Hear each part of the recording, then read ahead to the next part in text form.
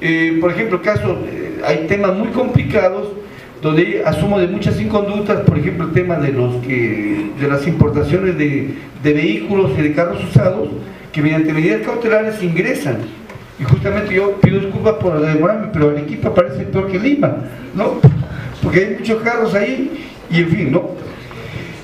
Y es más, la procesión, bueno, si la procesión no importa, pero los carros parece que ha sido, ¿no? Luego también el tribunal establece actualmente ciertos criterios para evaluar el amparo contra resoluciones judiciales que prefiero mejor textualizarlo, que es el examen de la razonabilidad, el examen de la coherencia y el examen de suficiencia, que son aspectos teóricos de la argumentación jurídica. Voy a leerlo acá. Examen de razonabilidad que implica evaluar si la revisión de todo el proceso judicial ordinario es relevante para determinar si la resolución judicial que se cuestiona vulnera el derecho fundamental que está siendo demandado. Examen de coherencia implica determinar si el acto lesivo del caso concreto se vincula directamente con el proceso o la decisión judicial que se impugna. De lo contrario, no estaría plenamente una revisión total del proceso ordinario si tal revisión no guarda relación alguna con el acto vulneratorio. Y finalmente, examen de suficiencia que implica determinar la intensidad del control constitucional que sea necesaria para llegar a precisar el límite de la revisión del proceso judicial ordinario, a fin de cautelar el derecho fundamental demandado. Vayamos ahora al amparo contra amparo, que es lo que estaba tocando Coco Cáceres.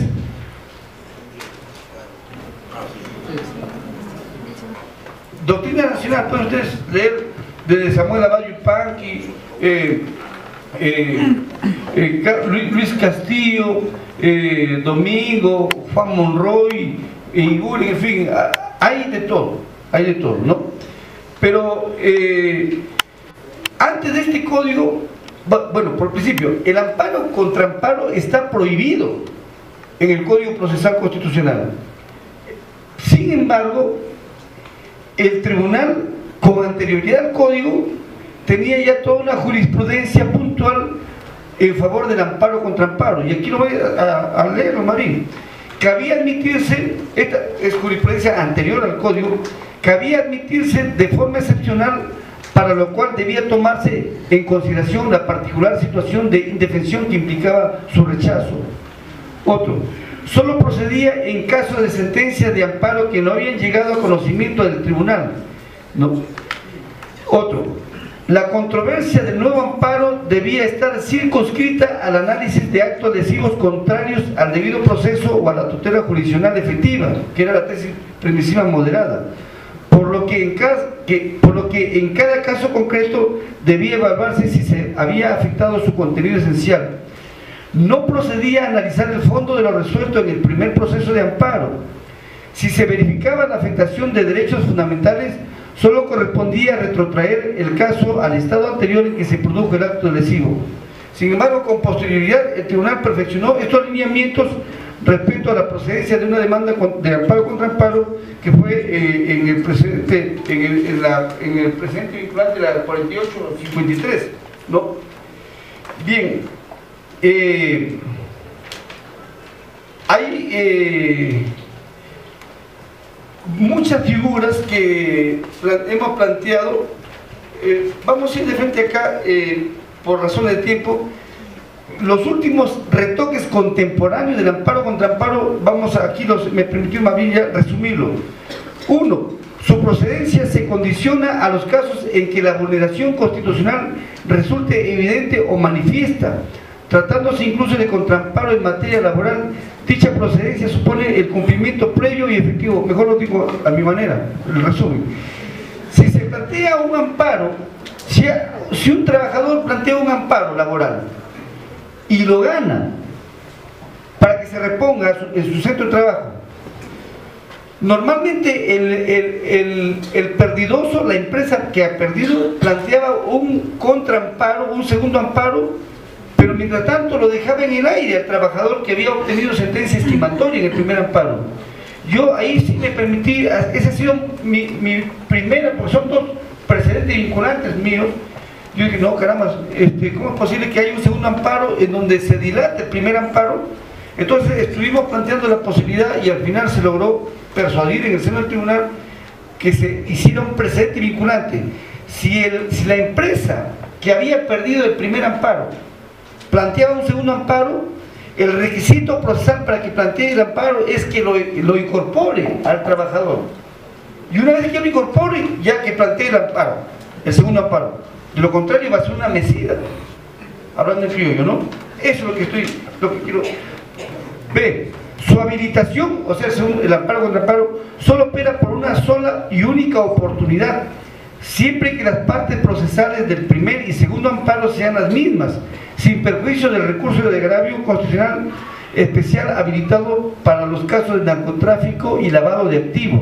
Es decir, hoy, si alguien tiene un proceso de habeas corpus y esa persona está vinculada al lavado de activos o problema de narcotráfico, y si esta, este, el favorecido gana este amparo, ahí eh, el procurador sí puede utilizar el recurso de agravio.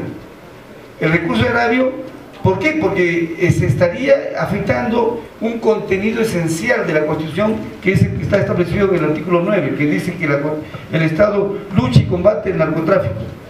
Claro, lo que pasa es que este es un tema un poco complicado. A ver, voy a explicarlo ya, aún cuando estamos ya... Eh, el tribunal dispuso de un precedente vinculante que el recurso de agravio solamente debería ser habilitado para el demandante y ya no para el demandado, porque antes estaba el demandado también podía utilizar el recurso de agravio en favor del precedente. Pero ¿qué ocurre? Que cuando justo se emite este nuevo precedente, que fue en el caso Provías, ¿no? Eh, una familia del norte gana un habeas corpus en segunda instancia y ya debía cumplirse lo que el propio tribunal había estimado, de que ya no, ya no prospera el, recurso de agravio por parte del, emplazado, en este caso el procurador. Pero sin embargo el procurador interpuso una queja por denegatoria del recurso de agravio y llegó al tribunal. Y el tribunal dijo, mamita, ¿y ahora qué hacemos? Entonces se tuvo que armar una especie de precedente para cambiar el poquito o recientísimo precedente que habíamos hecho. Es por eso que en lo personal, mientras estemos nosotros, ya no va a haber precedentes. O hay pocos precedentes porque no queremos, porque los precedentes son, es, el tema de los precedentes debería ser ya todo un curso orgánico de, muchos, de muchas horas, ¿no? pero los precedentes no forman parte de nuestro hábitat nacional. Pero en fin, ahí están, y el tribunal ya creo que está emitiendo hasta 43 precedentes, pero este tribunal, el actual, son pocos realmente el, tribunal de Aldo Randini eh, y César Landa desarrollaron muchos, pero y son útiles muchos y otros son pues opinables. En fin, tenemos tres. Resulta pertinente tanto contra resoluciones judiciales estimatorias como contra las desestimatorias. Estoy hablando del amparo contra amparo. Eh, de su habilitación se condiciona a la vulneración de uno o más derechos constitucionales independientemente de la naturaleza de los mismos. E. Procede en defensa de la doctrina vinculante establecida por el Tribunal Constitucional. F. Se habilita en defensa de terceros que no hayan participado en el proceso constitucional cuestionado y cuyos derechos hayan sido vulnerados, así como respecto del recurrente que por razones extraordinarias no pudo acceder al agravio constitucional. G. Ya termino resulta pertinente como mecanismo de defensa de los precedentes vinculantes establecidos por el Tribunal Constitucional y no procede en contra de, las decisiones emanadas del Tribunal Constitucional. Disculpen que haya sido un poquito largo, pero en fin, lo que yo quiero señalar después es que el amparo contra resoluciones judiciales es el universo del 70% que existe en el Tribunal Constitucional. Todo se está judicializando mediante el amparo, ¿no? Y hoy por hoy eh, el tribunal, pues si bien emite algunas reglas, lo hace dentro del afán de afirmar la vigencia efectiva de los derechos fundamentales y la supremacía de la Constitución. Quiero decir, pues, queridos amigos, lo que justo hablábamos en, en el Congreso de Huancayo. Sigan la línea de lo que es la jurisprudencia del Tribunal Constitucional, pero no tengan apego a ella, porque lo que yo estoy observando a nivel nacional es que la formación constitucional se está realizando a partir de, una, de un planteo que es lo que yo estoy señalando de glosadores y posglosadores del Tribunal Constitucional. Y la formación académica de ustedes que están con sus mentes virginales es estudiar doctrina pura, ortodoxa, teoría constitucional, derecho constitucional comparado, derecho procesal constitucional, teoría general de los derechos humanos. Pero con esas vigas sólidas ya ustedes están habilitados para hacer críticas y ver lo correcto o lo no correcto de lo que hacen los tribunales constitucionales en el mundo. Justamente, queridos amigos, hoy es 20. Hoy es 20, invoco el espíritu de Kersen porque hoy se cumplen a nivel mundial 91 años de tribunales constitucionales en el mundo.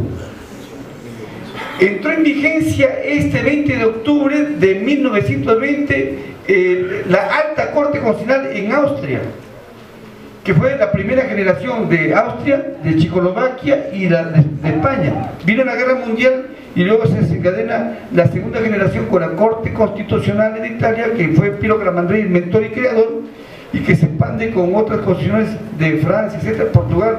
Y luego hay la, tercera generación, que es la del Tribunal Constitucional Español, la peruana, y hay ahora una cuarta generación, en donde se ubican también, por ejemplo, eh, esta semana que viene se está realizando en Moscú, en San Petersburgo, eh, un encuentro de, de, tribunales constitucionales del mundo por, la, por, el 20 aniversario de la Corte Constitucional de, de, de Rusia. En fin, es hoy una fecha mítica y ha coincidido. Finalmente, el Tribunal Constitucional no es el alfa y omega del ordenamiento jurídico, pero sí es el sistema de cierre. Los griegos suelen decir, la Suprema Corte no es la última palabra porque sea infalible, sino que es infalible porque es la última palabra. Muchas gracias.